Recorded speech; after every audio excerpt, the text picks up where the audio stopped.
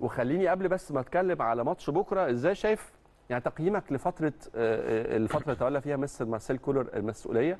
شايف ساعات الأهلي عموما للموسم الجديد مش بس الماتش بكرة إزاي؟ شايف صفقات الأهلي اللي دعمت بيها إدارة النادي الأهلي صفوفه إزاي ودورها إيه في بداية المشوار بكرة إن شاء الله؟ طب دي أسئلة كتير. الأول في تقييم عام للمرحلة كده يا كابتن مجدي طيب آه، مبدئيا مستر مارسيل كو- كولر آه، آه، مش هنقدر نتكلم على أي حاجة من النواحي الفنية. أيوه.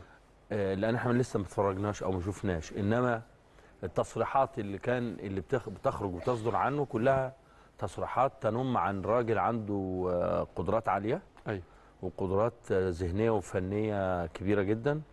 خاصة في تعامله في ال في ال أو آه، طريقة طرحه للاختيار ومواصفات اللي عاوزها في البوزيشنز أو في اللعيبة اللي في المراكز المعينة اللي. بيبقى عاوزها يعني لما يتكلم على راس حربة عاوز راس حربة مهاجم يكون سريع جدا آه، مش بد... ويكون آخر تل... آخر سنتين بدون إصابات عنيفة وبمشاركات كبيرة وبنسب تهديف مقبولة. دي بتوريك راجل بيفكر آه، من واسع. ما عندوش حدود ضيقة لأنه لأن المواصفات اللي بتتقال دي دي هتوسع للي للي بي بيختار. ويفاوض المجال مش بيزنقوا ويحصروا في في أسماء معينة. وده شيء آه، أعتقد آه، ينم عن إنه راجل عنده آه، خبرات جيدة جدا أيوه. زائد عنده ثقة في النفس بشكل كبير جدا. لما يجي يقول لك إنه مش بالضرورة يكون جايب أهداف بنسب عالية قوي إنما نسب مقبولة ده دليل على إنه عنده عنده ثقة في قدراته هو ككوتش إنه هيطور منه في طريقة شغله أو في بالنسبة لطريقة اللعب بتاعته أو في تطوير القدرات اللعيبة العموم يعني.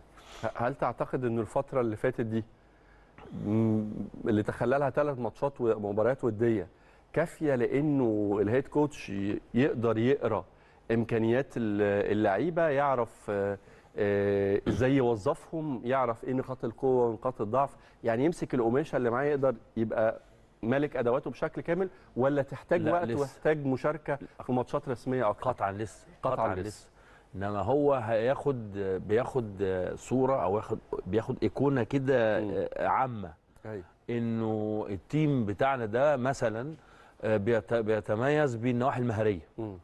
آه، عنده هيحط ايده على بعض نقاط الضعف اللي هي مثلا آه، آه، النواحي البدنية عندنا م- مش مش مظبوطة وهو اتكلم فيها. أيوه.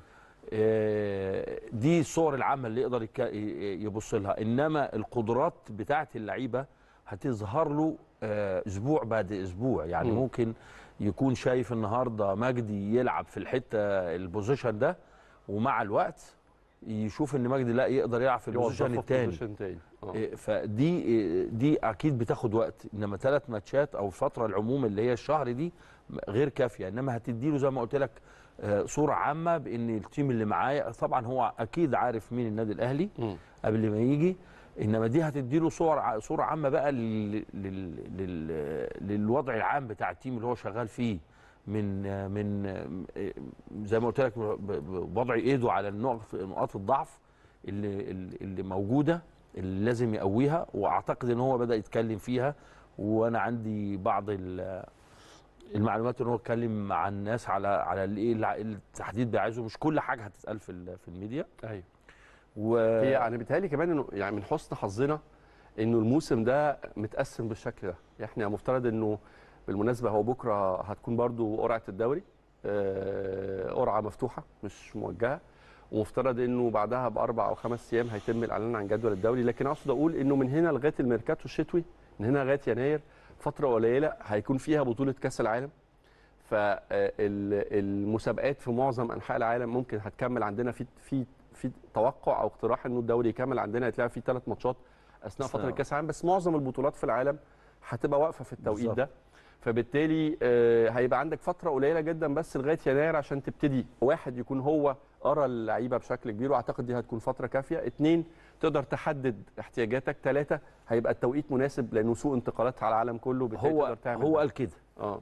هو نفسه قال كده. أيوه. قال الكلام ده قال لك إن إحنا مش محتاجين إن إحنا نستعجل أو نتعجل في إن إحنا نختار دلوقتي في خلال الأيام القليلة اللي باقية حد عشان نجيبه ويشتغل. مش بالضرورة خالص ما نعملش هيدك لنفسينا وندور براحتنا على على أساس على يناير نكون جبنا اللي إحنا عاوزينه بالظبط. ده دليل على إنه آه، مبدئيا راضي بال بال آه، بال team ك team. أيوه مبدئيا راضي بالقصة اللي موجود فيها كلها. عنده satisfaction باللي شايفه. عنده تفاؤل بالفترة اللي جاية.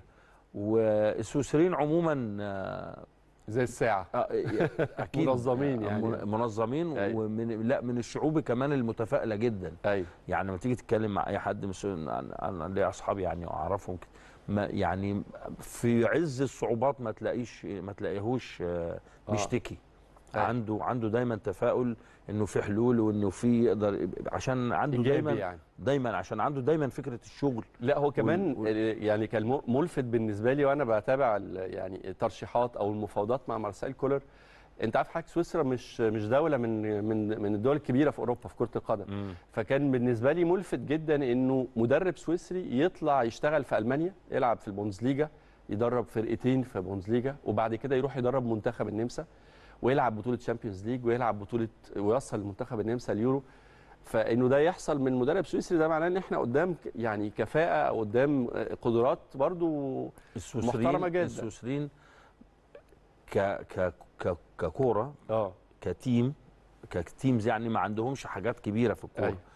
إنما مشهورين بحاجتين بيخرجوهم من السنين الأخيرة الحكام والمدربين عندهم عندهم مدرسة تدريبية جيدة طبعاً. لأنهم فايلر جه هنا كان كان معظم ال- اللي هتلاقيهم مدربين سويسريين هتلاقيهم كانوا شغلهم في ألمانيا. مم. لأن هم قريبين جدا من, من ألمانيا, ألمانيا. ففي منهم كتير لعب في ألمانيا. فهم دول اللي لما بيكملوا في الكورة بيختاروا التدريب وبيشتغلوا بيبقوا بيبقوا حاجة كويسة وعلامة كويسة. يعني أوتمار هيتسفيلد رمز التدريب في في في, في ألمانيا. كان معظم شغله في سو- في في سويسرا. ف المدرسة السويسرية كانت تدريب لا لأنها إيه، قريبة جدا من المدرسة الألمانية بتعتمد على ال- الانضباط والأداء ال- ال- الجماعي التكتيكي ال- ال- المنضبط.